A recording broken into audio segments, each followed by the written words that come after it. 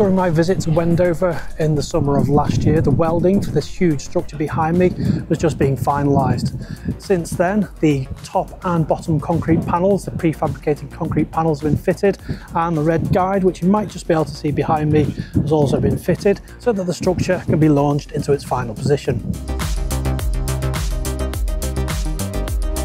The launch, or deck slide, began on January the 30th and took four days to complete with the entire 345 metre long deck being slid into place in one go.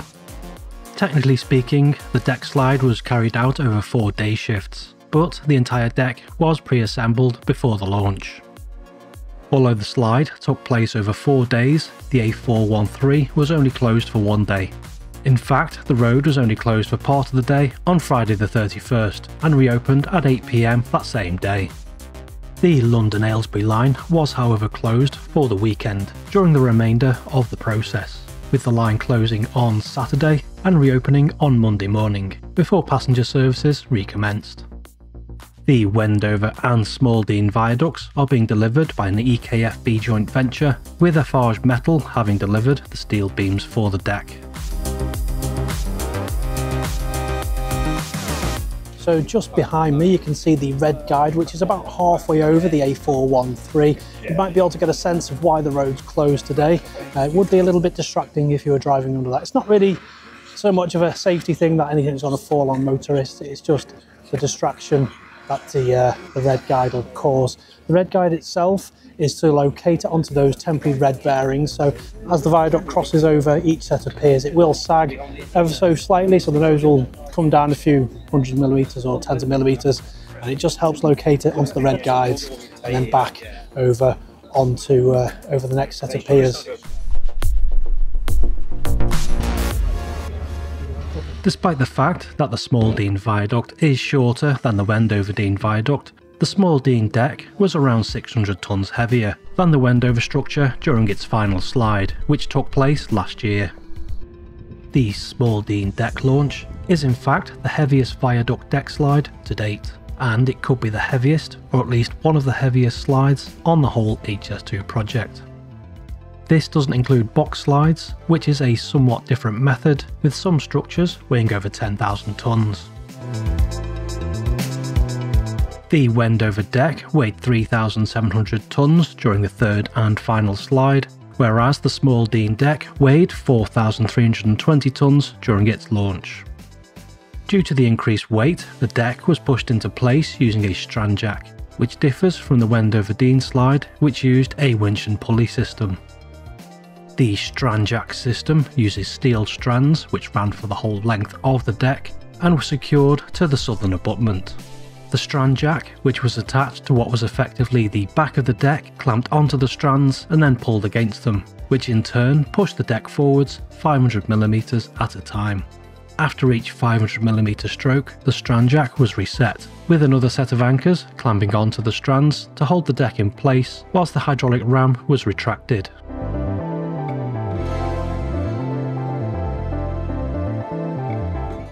Now, one of the reasons this bridge deck is so much heavier than the Wendover Dean deck, even though it's slightly shorter, is because it's been fully kitted out, well almost fully kitted out with all of the, the precast concrete panels, which is where we get the double composite turn from. So basically, not in this bit, but just a bit behind me, you can see, hopefully, you've got some concrete panels right the full width of the bridge deck, and then you've got some ones at the bottom as well.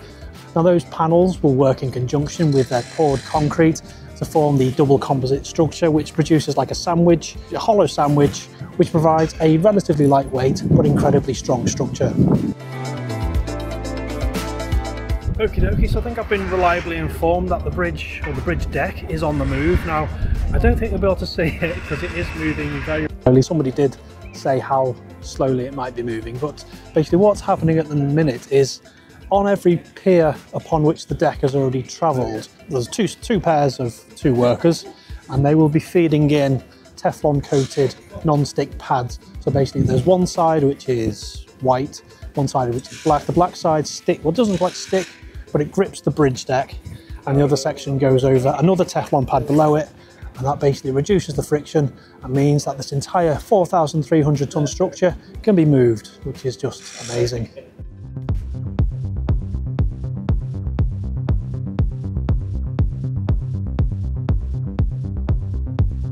Initially, the deck was sitting on temporary supports, which were used during the assembly.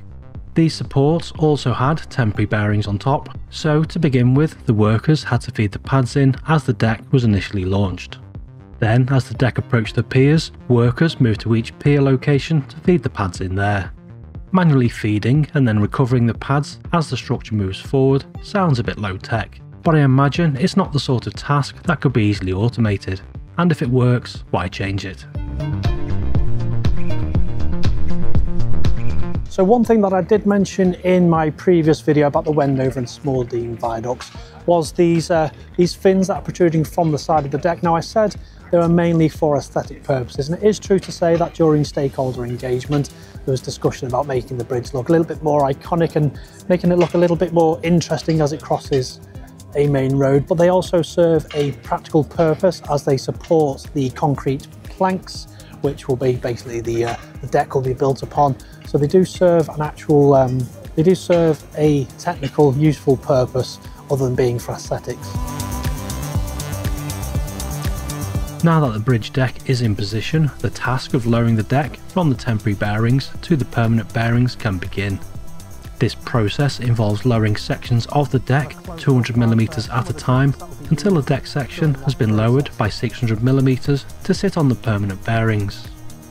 Once the whole deck has been lowered, the upper and lower precast concrete panels will be covered with a layer of in situ poured concrete, with the pour expected to take place in March.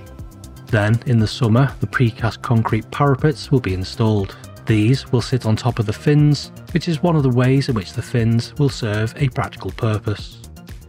The concrete pour and installation of the parapets will likely require further nighttime closures of the A413 and London Aylesbury line, but only when work is taking place directly above the road or railway.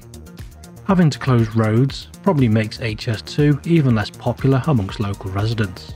But one thing that has struck me whilst following the construction of the line is the lengths that engineers are going to to ensure that road closures are kept as short as possible, especially for main roads such as the A413. I'll be discussing another key road crossing in an upcoming video, for which engineers are using a completely different technique to keep vehicles moving, so make sure you subscribe so you don't miss that video.